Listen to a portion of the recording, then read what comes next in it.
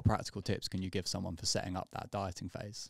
So I'd, I'd start off as I kind of mentioned like the discovery phase of it, it's obviously going to also depend on their like um like dieting background whether they have tried to lose weight previously or if they haven't um, mainly because people who have will have some preconceptions of what dieting looks like um, some people who haven't ever done it before it's their first time doing it often you can get into it like much faster because they don't they're not like emotionally tied to any kind of diet or, anything like that. You can kind of just crack on and educate as you go.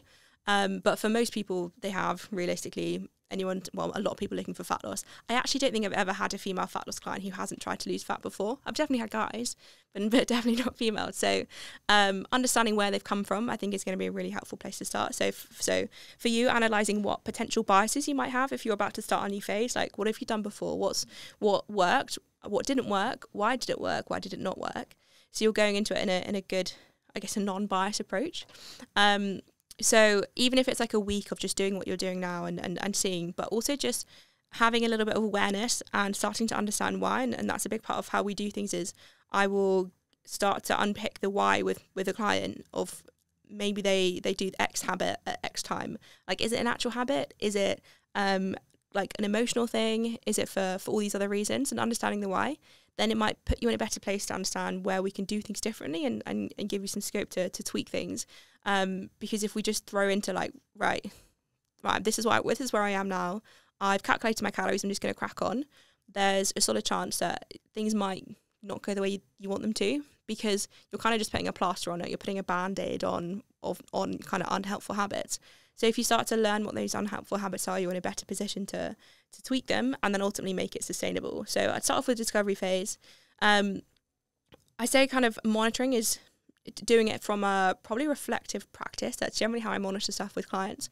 Um, and asking them like what what's going to be a helpful place to start. But and and again, each individual will have previous experiences where maybe they are they don't like stepping on the scale, maybe they're happy to.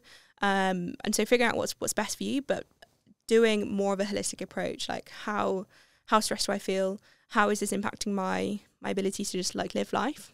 And doing monitoring through a, like a reflective practice, whether that's a weekly thing, like almost imagine like you would have a coach, whether you do that like journaling on a Sunday or maybe it's a daily practice, whatever that looks like. Um, yeah, will be will be super helpful. The next part is probably the most underrated part and definitely something I do a lot more now, and people are often quite hesitant to do it because it's it's kind of scary. But like periodizing fat loss, and that could literally be two, three, four weeks in a deficit in a fat loss phase and then having like a week or a few days whatever that's going to look like for the individual at maintenance that means you particularly if you're someone who is doing multiple things your training output is pretty high it one just first allows you to resaturate glycogen stores so eating carbohydrates so when we're looking at maintenance ideally we want that to come from mainly from carbohydrates to resaturate our glycogen stores to the how we store carbohydrates in our muscles. That's going to be helpful from a performance standpoint, so it doesn't just start to wind down and training just kind of plateau and start to, to dip. So that's helpful. It also gives you that psychological break of right, I'm I'm not dieting, also I guess it's very easy for that to be like, well, it can be like a fuck it week. Um, to be fair, I generally don't actually see that that much, but I think it's probably because they have the buy-in of right, this is how we're going to do things. So just holding yourself accountable, like right, I know I'm going to eat a little bit more, but it's not just me like right, I'm going to go eat out every single day. Um, and so that that's helpful from that like just a diet break point of view. Potentially metabolic adaptation, but probably it's not going to have a, a massive um, role to play.